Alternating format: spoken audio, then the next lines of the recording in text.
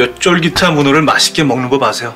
오래오래 꼭꼭 씹는 거죠. 어, 이 몸이 좋으신가 봐요. 전 치과 다니면서 인사돌 플러스도 꼭 해요. 꼭꼭 씹는 데는 인사돌 플러스네요. 건강한 잇몸으로 맛있게 인사돌 플러스.